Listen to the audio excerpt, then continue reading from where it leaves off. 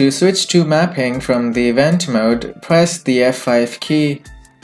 While drawing, if we right click while holding the left click, we can instantly cancel whatever it is we are drawing. To switch map layers forward, hold the control key and then press tab. To switch map layers backward, hold the control and shift key and then press tab.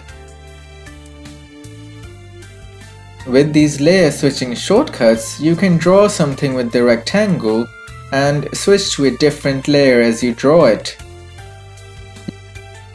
You can press Ctrl Z to undo and erase everything you drew in the last 20 steps.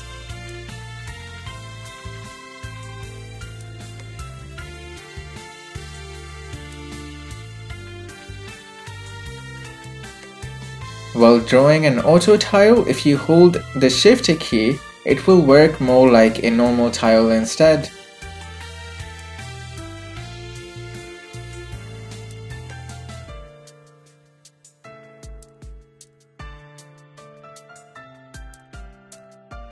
Of course, you can right click a tile to copy it from the map.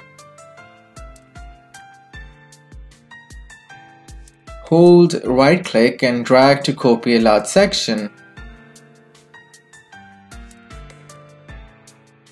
To zoom in and out, you can either press Ctrl with plus and minus keys,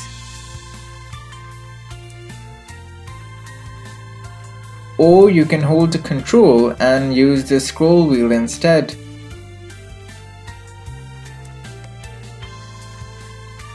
To navigate around the map, you can use the scroll wheel for vertical scrolling and hold the Alt key to scroll horizontally. And of course, you can click and hold the scroll button on your mouse and drag to move around as well. To open map properties, hold the Shift key, press Tab, then press Spacebar. When you're mapping and you press Shift Tab, your selection basically goes on to the mapping list in the bottom left. When you are here, use the directional keys to move the selection around. You can open map properties by pressing space, press enter key for creating a new map, Ctrl T to shift the map, Ctrl D to generate dungeon, Ctrl F to search for a map in the list. Press F3 to find next. Press Shift F3 to find previous. And that is all the input shortcuts we have with regards to mapping. Do rewatch, learn and practice these so you become faster at mapping.